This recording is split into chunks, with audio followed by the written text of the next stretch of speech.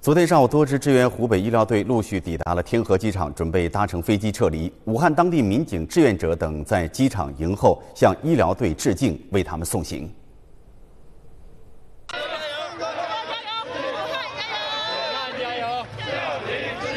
我们也很高兴圆满的完成任务，也为武汉感到特别的呃高兴吧。回去最想做的事情？啊，回去。想好好的跟亲人和朋友拥抱一下吧，因为真的是挺难忘的一个经历。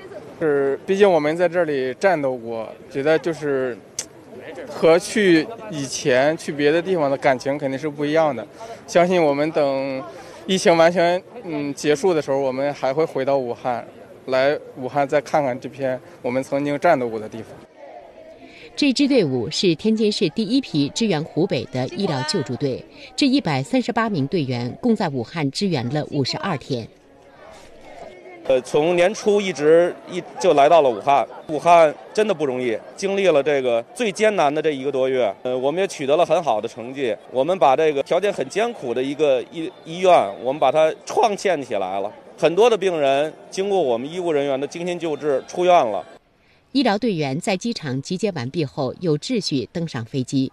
国家卫健委医政医管局监察专员焦亚辉代表中央指导组的医疗救治组进入机舱，为大家送行。代表我们中央指导组的医疗救治组来给大家送行。啊，谢谢你们，你们辛苦了。你们在武汉的这一段日子，武汉加油！加油！武汉加油！祝贺你们圆满的完成了任务，也祝你们一路平安。回到天津以后，希望你们好好休整，然后我们再战疫情。呃。现在呢，我们的任务还没有完全的结束，我们现在是要呃内防扩散，还要外防输入，所以呢，现在我们回去之后呢，大家好好休整，还要回到各自的岗位上，为我们的患者服务。代表救治组祝你们一路平安，祝你们平安健康。我们回去之后再见，谢谢大家。